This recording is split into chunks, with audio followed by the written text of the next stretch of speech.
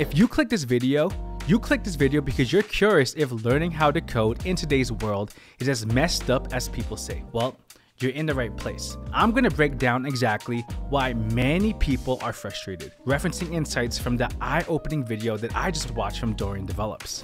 But that's not all. We're not just talking about the problems here, but I'm also gonna give you some real talk on how to navigate through these challenges, finding reliable resources, and what it actually takes to make into the tech industry today. Learning how to code freaking sucks. You see comments from people who have a ton of experience in the tech industry. You see people who are have been studying code for years, struggling to get a job. Even those with experience struggling to get a job. I want to to help people really understand what's going on in tech industry today. Now, when I watch this video, I agree with a lot of what Dorian develops said, but I also want to put my own input and help y'all navigate through the situation. So, one of the main things that he spoke about is how there are so many different resources out there. And I mean, it's overwhelming. You put in how to learn HTML, how to learn JavaScript, CSS. Then there's uh, Sass or Less, or there's uh, um, what else is there? There's Tailwind, Bootstrapped, you name it. So many different CSS libraries out there. I haven't even gone to JavaScript because when there's JavaScript, there's React, there's Next.js, and all these different other libraries and frameworks like Angular, and there's Svelte.js. What the heck do you learn? So there's not only so many different languages that you need to learn, not even just languages, there's tools, learning how to use a terminal, there's Git, how to use Postman. You name it. So there's so many different languages that exist that you need to learn to get a job in 2023, 2024, 2025. Then how the heck do you choose which courses, which tutorials to use to learn these things? And one company that he mentioned, a nonprofit actually, nonprofit organization he mentioned was Free.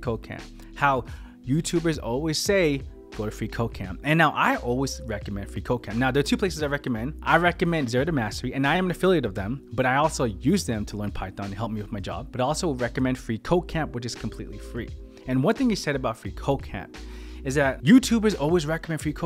But why? Because it's free. Because a lot of people can't afford to pay 30, 40, 50 bucks a month to get a job in tech. It's expensive and it adds up, right? That's over $300 a year. But one of the reasons I always recommend Free Code Camp, and Free Code Camp is great because you can learn everything from HTML, CSS, JavaScript, algorithms, I believe data structure as well. It has everything you need on there. And why I recommend that is because it's free and it's not a video. One thing that I really don't like, that I don't use, that I used to use, are video tutorials. I prefer to read because I learn better that way, because I can go on my own pace rather than listening to someone talk as they're teaching a tutorial. Right, so I recommend Free Code Camp. That's why I recommend it. But he brings up a good point. Free Code Camp isn't enough. It's, it, it's not, and it's true, it's not enough right? And it's not even just there's not only free code camp. There's a lot of courses on Udemy. There's all these other courses out there from uh, uh, Codecademy, you name it, coding boot camps, right? I think when it comes to choosing a tutorial to learn how to code, I think you should choose one. You do a ton of research, look at reviews, look at the comment section. You know what? In the comment section below, if you recommend a good tutorial, please put in the comment section below, help people people out. All right. Actually, I'll leave a comment. I'll pin that and please let me know in the comment section below where a good place to learn how to code and who validates that, right? But what I highly recommend, yes, there's a lot of resources out there. Choose one. And when you go through one tutorial, that's it. What I mean by this is when you go through HTML course and then a CSS course, that's it. Go through JavaScript course, that's it. Buy one tutorial and then go through documentation the whole way and use ChatGPT for the rest. And I am working on a video on how to learn code using only ChatGPT and how it can really help you out rather than using tutorials to be honest. The second thing that I like that he pointed out is how there are so many tech influencers out there, including me, including him, including everyone else, right? Now, I have the benefit of being on YouTube for a long time. I take pride in the fact that for seven years, well, for five years of the seven years I've been YouTube, I sold nothing. Right, I was affiliate for one online place to learn how to code for five years, and that's it. But I never sold tutorials. I never did any of that. Right? Why? Because I want to make sure I give y'all as much value as possible. But there are a lot of people out there, YouTubers out there, who do YouTube only so they can sell courses to you, and it's true. And not even just people who are selling courses, there are just a lot of YouTubers out there, a lot of influencers out there trying to tell you what to learn. Okay, so I do a lot of one-on-one mentorships below, and if you want to check it out, check it out in the description below. But I do a lot of mentorships. And in so many of my different mentorships, people are telling me from from people who are in their 20s, 30s, 40s, and 50s are telling me, Chris, I'm doing this one-on-one mentorship because I don't know where to start. I don't know what to learn. One person says learn Python. Another person says learn C++ from a CS50 course on, on Harvard's website, on their YouTube channel. Uh, one person says become a front-end developer. Another person says become a data scientist. Where the heck do I start? This is when it sucks this is when it becomes so difficult because you could become a data scientist, a data analyst, a software engineer, front-end developer, back-end developer, machine learning, deep learning, computer vision. Where the heck do you start? And there's also cybersecurity in tech. I think this is when you really need to decide what it is that you enjoy doing. I, this is when I, I highly suggest when, and this takes time, but this is very important because this can determine what you do for the rest of your career. You can try doing a little front end development, build something, see how you like it, and then try something in back end, and then see how you like that too. And then maybe try doing some data analyst stuff, data scientist stuff. And it takes time, but that's kind of how you determine what you want to do. Don't do something just because of how much it pays. I made that decision with my last job. Highly regret that. I moved into data engineering space when i have been a front end developer for four to five years of my seven year career. That was a world of difference. Right? I love working in back in space, but joining a company just for that money is not a wise decision. So do not copy what I did. Do something because you enjoy it. But yes, there's a lot of influencers out there. Who the heck do you trust? Right? Validate these people.